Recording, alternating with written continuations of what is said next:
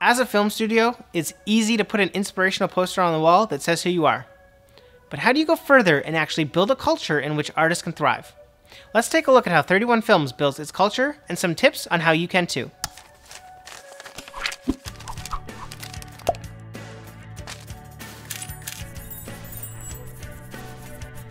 Hi there, I'm Joey with 31 Films. We are a production studio just outside of Houston, Texas. Over the years, we've built an awesome space and amazing team here at 31 Films. We'd love to share with you the biggest things we've learned. I believe culture, one in which artists can really create, grow, and succeed, is defined by three things the overall environment, your management style, and your team of people. Really, it's the people that you bring in and who they are that defines the culture. It's about bringing in the right people and supporting them with the right environments and management style to guide them in the right direction. First, the people. At 31 Films, we have a strong team of people who are hardworking, fun, and push one another to be better.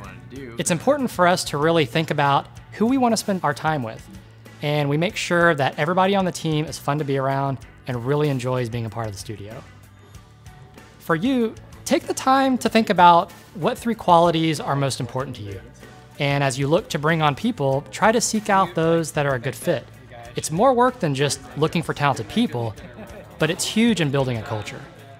Second, the environment.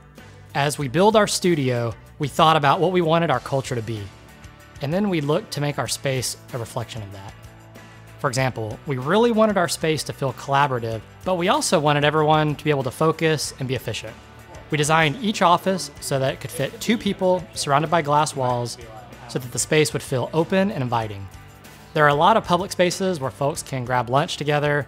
These spaces provide people with opportunities to discuss what they're working on, while the offices allow folks to close the doors and focus. For us, it was so important that the space was a reflection of the studio's personality first, and not primarily a marketing tool to entertain clients. But clients do end up really loving the space, and it plays a big part in bringing people in. Third, the management style. One of the biggest things we've learned is that culture trickles down from the top. How you interact with your team has a big impact on the culture. If you're stressed, they're going to be stressed.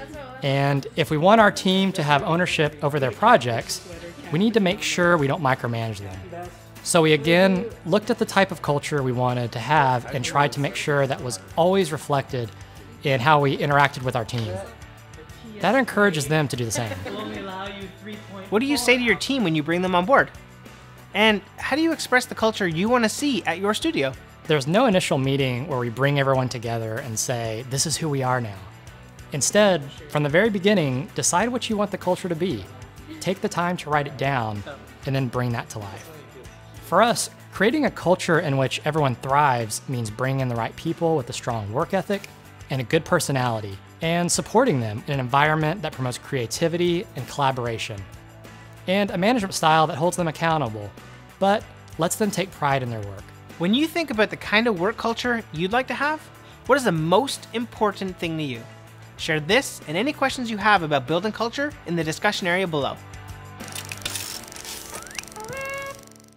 Did you just learn something new to up your filmmaking game? Well, learn even more with our other tutorials. And remember to subscribe to know when new videos are released. Got questions? Ask away in the comment section. Or just say hi. Hi. How you doing? I'm good. If you're asking.